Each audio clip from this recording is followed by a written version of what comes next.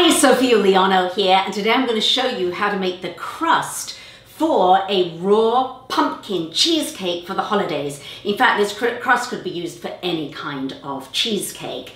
Now, this is part one of a two-parter because I am collaborating with the vegetarian baker and he is going to be showing you how to make the raw pumpkin cheesecake filling. So as soon as you've finished watching this video, you're gonna hop on over to him, the vegetarian baker, and he's gonna show you how to complete the recipe. Okay, so let's get started. These are the ingredients that you're going to need for your crust. Now I've chosen to use superfood ingredients because I want this crust to be very healthy. So I'm using Brazil nuts. They're very high in selenium and all kinds of uh, nutrients that you need. I'm using pecan nuts, very high in antioxidants. We've got goji berries. These are great for your eyes and extremely high in antioxidants. We're using walnuts. These are the most important food in prevention of breast cancer. We're using hemp hearts. These are hemp seeds. We've got shredded unsweetened coconut. And then I have dates pitted. And then I have here coconut butter, not to be confused with coconut oil. It is coconut butter. And then finally, optional ingredients are vanilla and cinnamon. So this is so easy to do. I'm going to show you how we get started with this. The first thing is I have a little pie dish here. Now, what I've done is I've cut out a circle of parchment paper because I want to be sure that this thing is going to be able to come out. Onto this, I'm going to sprinkle my unsweetened uh, coconut. This is because it'll stop it sticking and also it provides a nice tasty uh, boost to the base. So I really like doing that. Okay, now we've got that just ready and waiting. The next thing is I'm going to use a food processor here. The food processor I'm using is the Breville Sous Chef, which by the way, I am so completely obsessed with this Breville machine. It has changed my life in the kitchen. For some reason, it just, it really is a sous chef. It's, it's ridiculous. So what we're going to do with this is I'm simply going to pop my ingredients in there.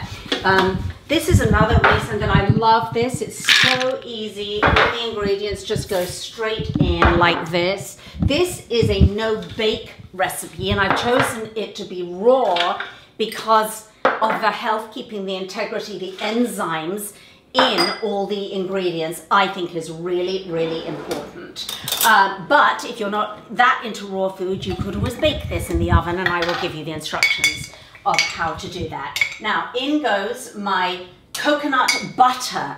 Coconut butter you'll find at most health food, in every single health food store actually. Um, and I'm popping in a couple of tablespoons of that.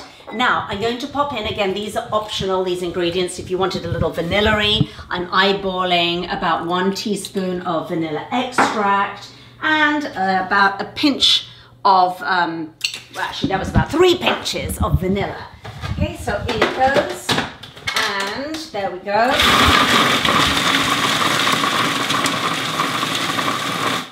You see how long that, actually you're gonna give it a tiny bit more. You want it to resemble, I wanna show you here, you want it to resemble sort of very coarse sand. So I need to blend it a little bit more and you'll see when I take it out exactly how I want it.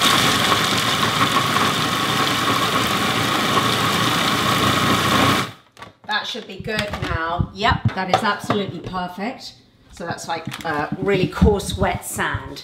All right, now to finish off, let me just move these out of the way.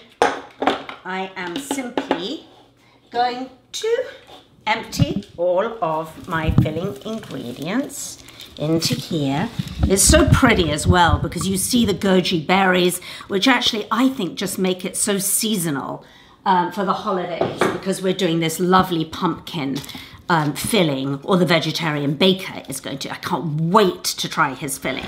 I've got two of these bases ready to go, and I am going to be cheese, vegan cheesecaked up, me and my family, and we, so we love vegan cheesecakes lime. I make a good key lime one, but I'm so excited for this pumpkin one because guess what? I am going to be serving this when my family come and stay with me for the holidays. And I know that they're gonna love it and they won't believe it's raw.